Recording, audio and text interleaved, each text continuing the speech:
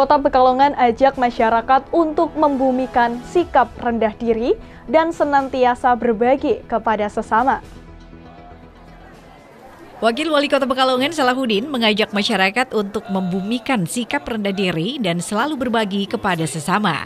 Hal tersebut diungkapkan usai pembukaan kegiatan Pasar Murah yang digelar di halaman Kecamatan Pekalongan Barat Kamis pagi 30 November.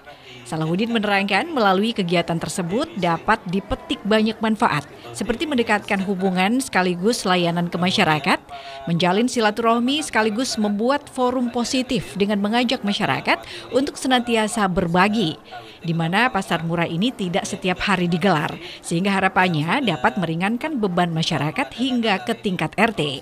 Selisih harga ini tentunya sangat berarti. Salahuddin berpesan agar di lingkungan masyarakat senantiasa memberi, jangan membiasakan meminta. Misalnya di lingkungan RT, saling berbagi sarapan tentu akan sangat bermanfaat.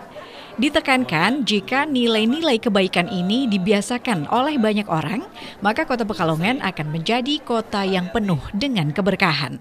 Sarapan, jual-jualan sebetulnya itu sini kasih sini, sini sini.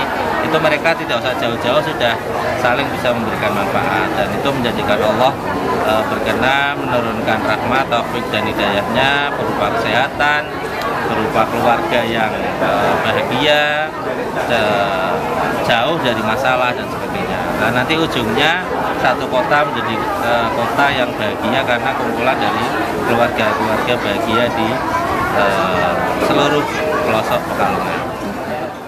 Irfa Febriani, Batik TV, melaporkan.